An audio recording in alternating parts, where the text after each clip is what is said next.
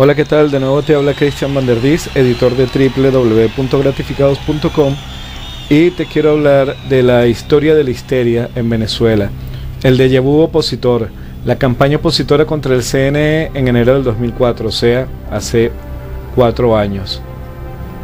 Vamos a ver eh, en una campaña similar que fue eh, justo antes de que se activara el, la solicitud de referendo revocatorio contra el presidente Chávez.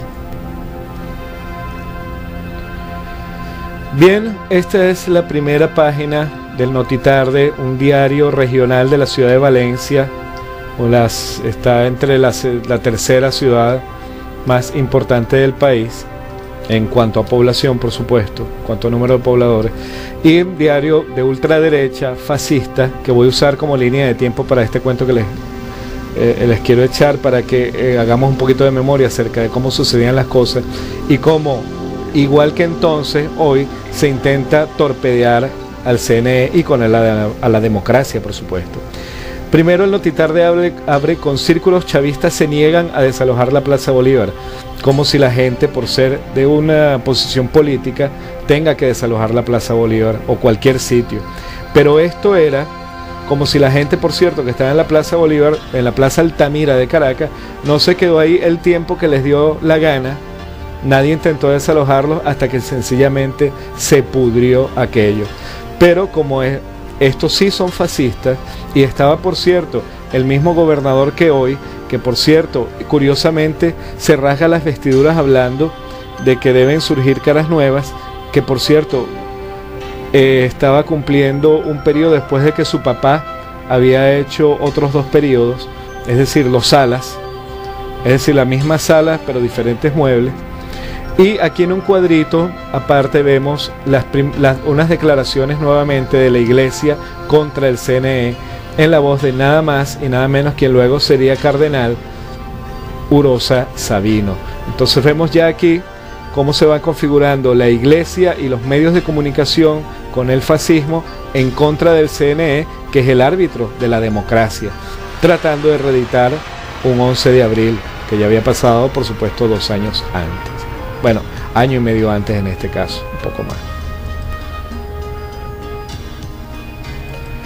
En efecto, el curita este cobarde, eh, mientras era arzobispo de Valencia, la emprendió contra el CNE, tratando de darle consejos, poniendo en duda su integridad, del mismo modo que hoy hace el, el carcamal crápula de Teodoro Pekov desde su tribuna de tal cual, igualito así este curita desde la iglesia. En el mismo diario, el 7 de enero de 2004, ya les dije que lo iba a usar como línea de tiempo, Américo Martín y Pastora Hidra, dos cadáveres políticos, ya entonces, denuncian un complot en el CNE para evitar el referendo revocatorio. Ah, y aquí aparece este pajarito, por cierto, que todavía estaba con el gobierno, Baduel. Este señor, por supuesto, y toda esta campaña viene a cuento de que primero, al de justificar la salida de Chávez por cualquier medio, reeditar el 11 de abril, reeditar el golpe de Estado del 11 de abril de 2002. Segundo, a sabiendas, en la Constitución hay una, hay una posibilidad de revocar cualquier mandato de elección popular, incluyendo el presidencial, del de lo cual por eso, por cierto, parecen olvidarse eh, eh, la oposición y todos los que hacen argumentos en contra de la enmienda. Eh, pero ese, para, activar ese, ese, revocatorio tenían que entregarse unas firmas, unas firmas hechas por cada uno de los interesados. Y estos crápulas habían entregado simplemente no firmas, sino listas de nombres. En esas listas de nombres y con números de cédula aparecían difuntos, aparecían chavistas también, eh, eh, y apareció todo, todo, todo mundo. Y por supuesto, el CNE dijo que tenía que depurarlas.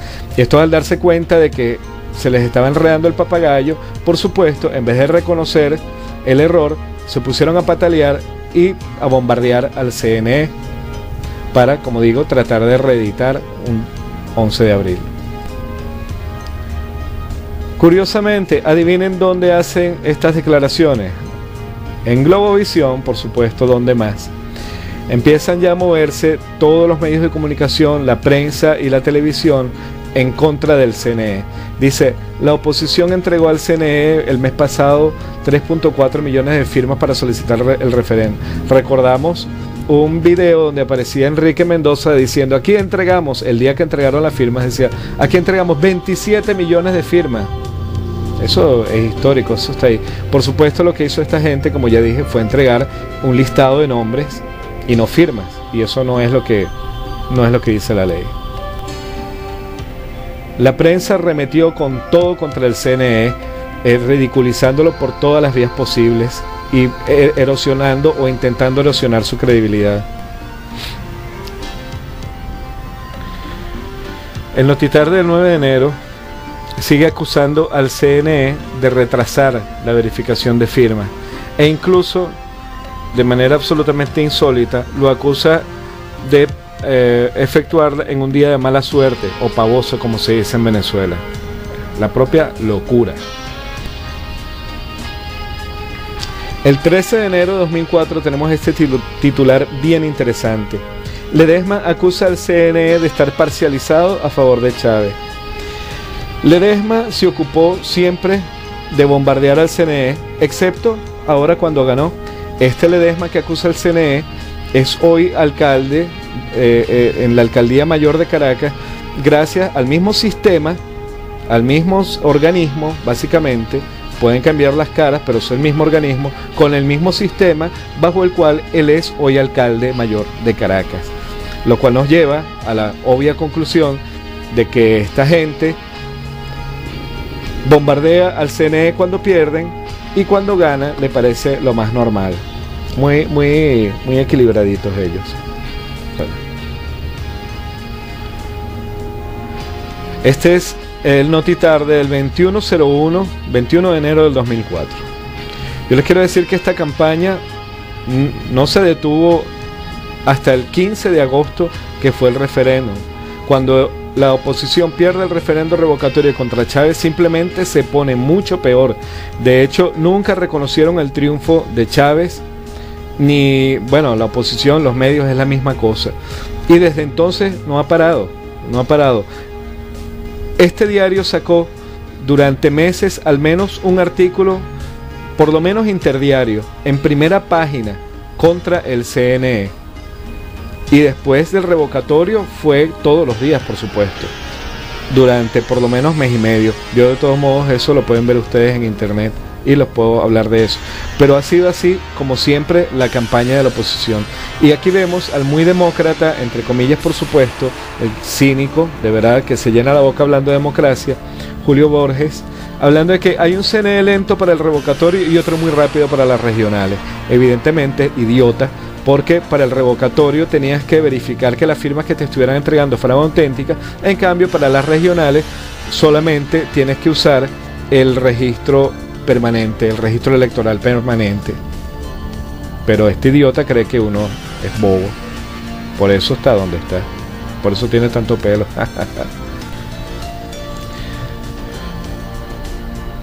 Este es el notitar del 21 de enero del 2004. Como vemos, van confluyendo todos los elementos del fascismo. los partidos políticos eh, de ultraderecha, los medios de comunicación que representan a las corporaciones, y la iglesia, como siempre. Aquí vemos este señor en esta dictadura, por cierto, como lo llaman, el régimen, diciendo Chávez tiene una mente enferma. En este momento ese señor era nada más y nada menos que cardenal. Y por otro lado vemos el otro fenómeno, que para,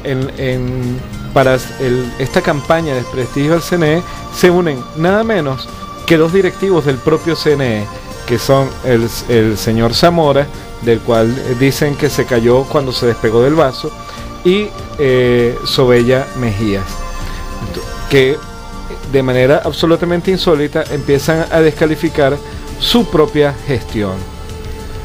Y esto no paró, como les digo, eh, durante, bueno, no ha parado, no ha parado desde entonces. Es bien revelador seguir la historia del movimiento fascista contra la democracia, contra las elecciones, contra el CNE.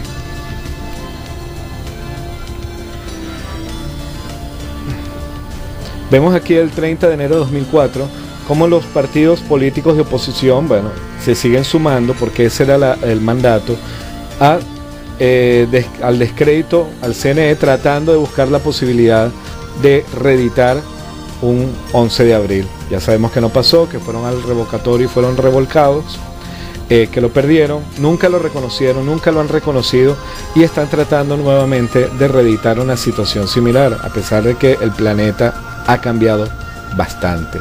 De todos modos, estos son los hechos. Está todo disponible en la red y como yo te digo siempre, búscalo tú mismo y saca tus propias conclusiones. Desde Valencia, Venezuela, te habló Cristian Vanderdis, editor de www.gratificados.com.